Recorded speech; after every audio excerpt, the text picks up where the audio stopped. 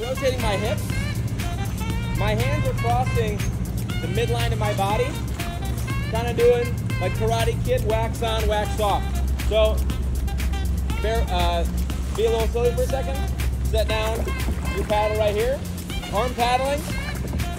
You're just doing like a tiger crawl like this. But the hip paddling, you're seeing your hands cross your eye line.